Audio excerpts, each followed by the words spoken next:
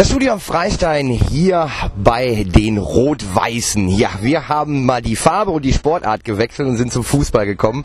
Freddy Fischer hier vor dem Mikrofon und er hat uns auch eingeladen. Das Perspektiv Team Rot-Weiß Essen 3. Erzähl mal kurz was darüber. Ja, also Stiftungsprojekte.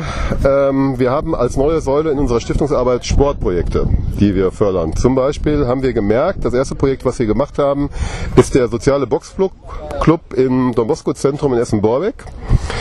Und da haben wir ganz einfach gemerkt, dass du durch Sport wirklich bei Jugendlichen was verändern kannst. Da geht es um Teamgeist, ja, Durchsetzungswillen, Zusammenhalt, ja, Perspektiven im Leben finden und so weiter und so weiter. Und durch diese positive Sache, die wir da gemerkt haben, hat es dann ein Gespräch gegeben hier mit Rot-Weiß, Michael Welling in der Zweibar, wo uns die Professor Egger Stiftung dann diese Idee vorgestellt hat von diesem Team, was schon seit mehreren Jahren umgesetzt werden sollte. Und dann haben wir bei diesem Kaffeetrinken morgens in der Zweibar gesagt, alles klar, das machen wir direkt.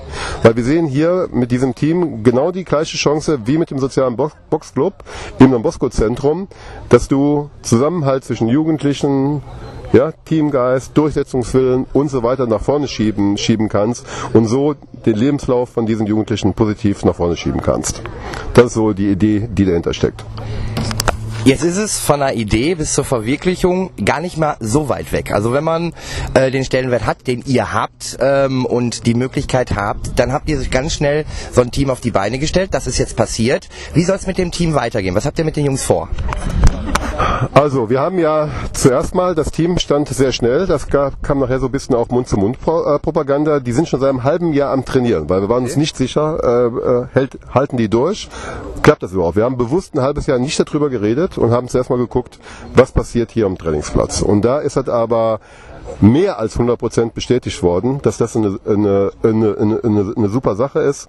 So, jetzt ist die Mannschaft gebildet. Wenn eine neue Mannschaft gebildet wird, ähm, die wird also jetzt im Ligabetrieb operated von der Rot-Weiß Geschäftsstelle. Das heißt, eine neue Mannschaft startet immer in der Kreisliga C. So, da starten die Jungs jetzt. Ab der nächsten Saison spielen die Kreisliga, spielen in der, in der Tabelle und wollen natürlich auch aufsteigen. Und das sind jetzt so die Ziele. Erste Saison jetzt erstmal gucken. Ligabetrieb läuft ab August, September, wann die neue Saison anfängt und dann sehen wir mal, was mit dem Team so im sportlichen, fairen Wettbewerb passiert. Es sind, also du sprichst schon von deinen Jungs. Das sind, äh, du, du stehst voll und ganz hinter der Situation. Ein Mann wie Freddy Fischer, die Freddy Fischer Stiftung, ein Mann, der mit Automaten sein Geld verdient. Wie bist du überhaupt dazu gekommen oder wo ist so der Antrieb gewesen, dass du gesagt hast, okay, äh, die Automaten habe ich, jetzt mache ich eine Stiftung? Ja, der Antrieb kam, ähm, also Unterstützung von Sozialprojekten mache ich im Kern schon ein Leben lang. Aber der richtige Antrieb kam, ähm, wir unterstützen einen Freund von mir, den ich lange Zeit unterstützt habe, dem ich, dem ich aber nur immer Geld gegeben habe, mir aber nie Projekte, äh, Projekte in der Stadt angeguckt habe oder Brennpunktlagen in der Stadt ange, angeguckt habe. Ähm, da war ich da mal mit, 2006 oder 2007. Und dann ist mir zuerst mal bewusst geworden, dass es zwei getrennte gesellschaftliche Strukturen in Essen gibt. Ja? Mhm. Grobe Grenze Hauptbahnhof. Ja. Und dass es verdammt viele Menschen in unserer Stadt gibt, beziehungsweise in jeder Stadt in Deutschland, ja. die auf der Verliererseite sind. So, und da ist uns bewusst geworden, also meiner Frau Stefanie und mir, zuerst mal, wie viel Glück wir haben. Wir sind gesund, wir haben gesunde Kinder. Wir haben mit nichts angefangen im Leben. Ja, wir haben durch unsere Firma, die wir gegründet haben, genau Automatenausstellung in der Gastronomie, haben wir Geld verdient.